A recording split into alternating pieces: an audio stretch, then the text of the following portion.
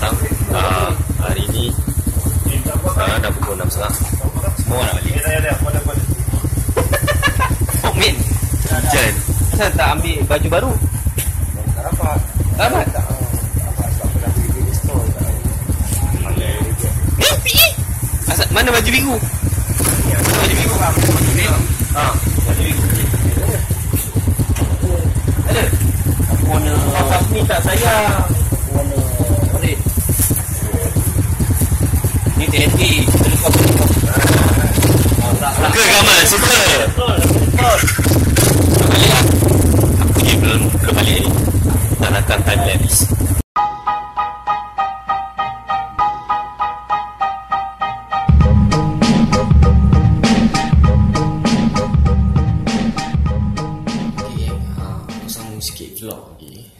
sebab uh, pagi tadi aku sampai office agak lambat dalam pukul 9.30 macam tu.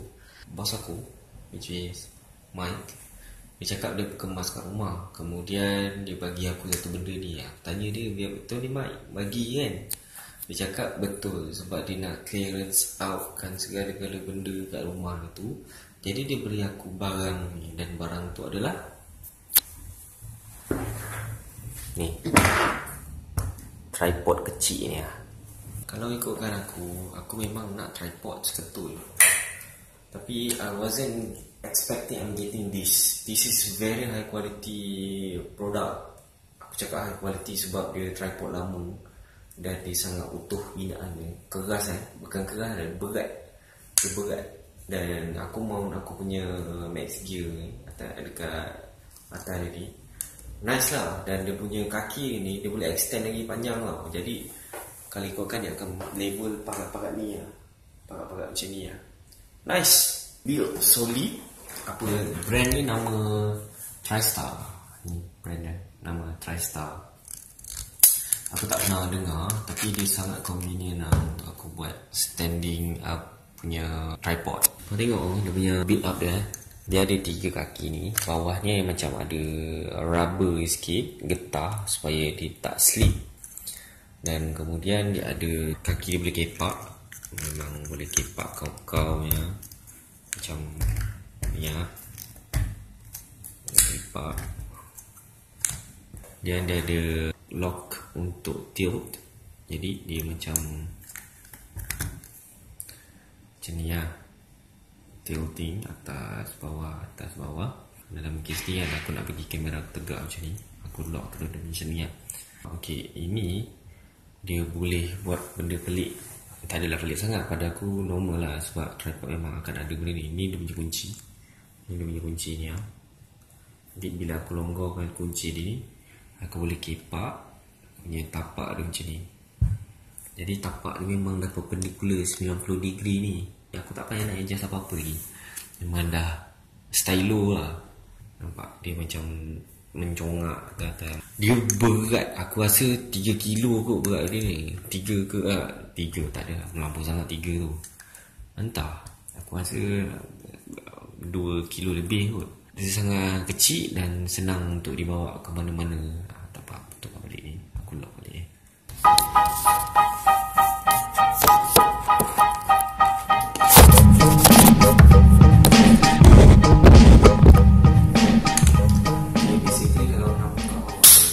Dia bukan macam typical tripod Macam tripod aku biasa tu Aku unlock Aku on dan aku buka. Tapi ini dia agak keras Aku kena kunci sikit. Buka kunci di belah bawah ni. Yang ni akan terbuka macam ni. Ini full Full length. That's why dia berat Sebab Panjang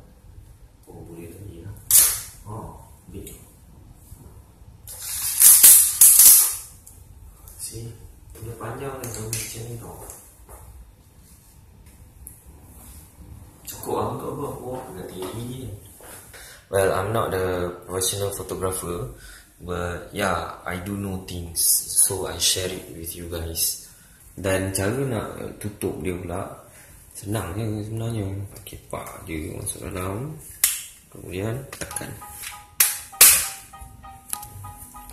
Tolak je satu-satu masuk ke dalam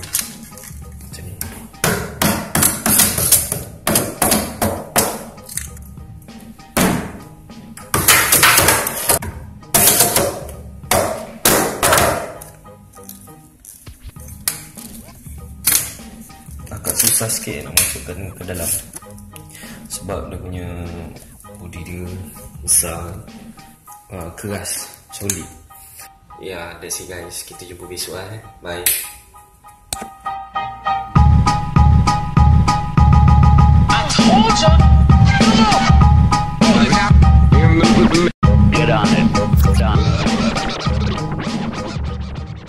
Aduh guys, sepatutnya sekarang ni Okay, sekarang ngam-ngam pukul 10 lah.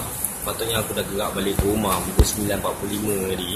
Masalahnya tiba-tiba pula tayar motor aku pancit tu. Oh, Wah, ambil tau Like, biar aku tak tahu masalah ni. Ada paku ke, ada apa ke, pecah ke, aku pun tak tahu. Tadi aku baru call wife aku Aku minta tolong ambil. Besok pagi Ah, besok petang baru tengah hari lah. Besok tengah hari baru aku handle benda ni untuk hantar pergi tampal ke tukar ke aku pun tak tahu lah